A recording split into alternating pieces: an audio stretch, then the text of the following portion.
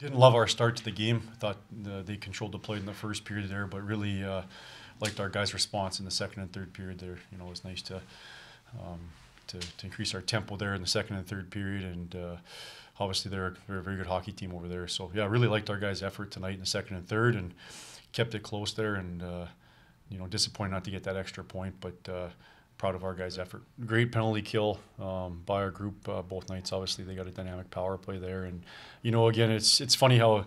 I just believe the game's fair, you know, and you got guys like Noah Prokop, you know, who just show up and they go to work every day. You know, he's a competitor, uh, he's a heart and soul type of player. Um, you know, he just shows up and what do you need me to do, coach, and I'll do it. And uh, I mean, that's a big time goal for us, first college goal for him, and it's a big time goal. So funny how that stuff works out, right? The PK when you're down one nothing, you want to be a little bit more aggressive, and so I saw one guy go and he had nobody else with him, so I decided to go pressure him a little bit, and turned out got a good bounce and uh, just buried it from there. When we don't give any goals up on the PK, it's a it's a good night for us. But uh, we just got to clean up a few things still. Uh, we could be better on the PK, and we're gonna do film and get right back at it tomorrow. Yeah, that's how we have to play. You know, against.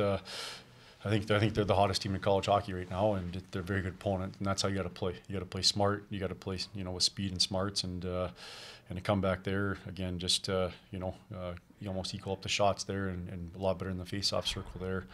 Um, speaks to our guys' character in that locker room. You know, it's uh, when you have a tough start, it's easy to feel sorry for yourself. It's another thing to to put your head down and get to work and uh, and come back with a great second and third period.